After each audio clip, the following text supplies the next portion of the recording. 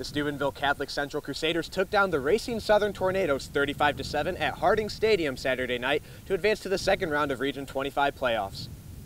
The Crusaders had home field advantage, but it was the Tornadoes to strike first, led by a 42-yard pass from Tristan Wolf to Hunter Johnson.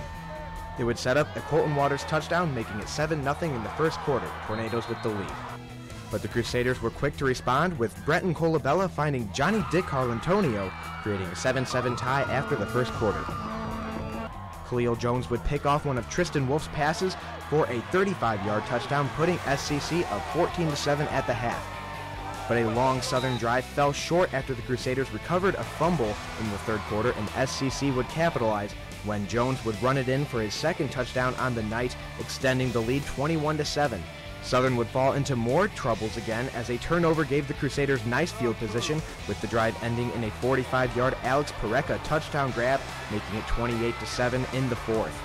The Tornadoes would not give up and continued to attack, and Wolf was able to find Trenton Deem for 24 of his 59 receiving yards on the night, but Ryan Fletcher would pick off one of Wolf's passes to end the drive as the Crusaders would cruise to a 35-7 victory in the first round of the playoffs.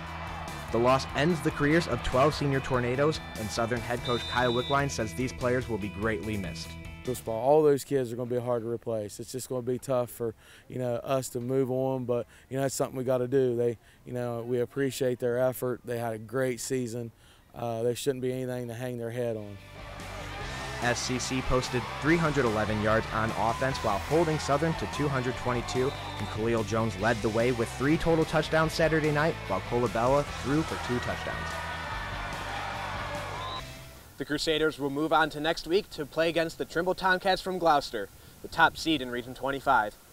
For Gridiron Glory, I'm Lucas Widman.